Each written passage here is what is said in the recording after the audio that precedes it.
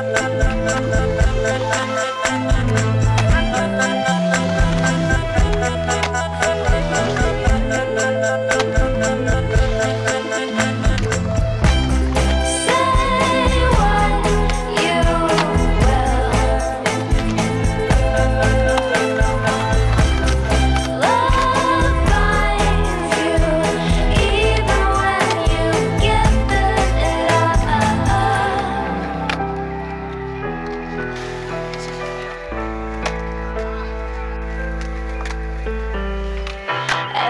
body deserves to be adored. Why would you settle for less when the world gives you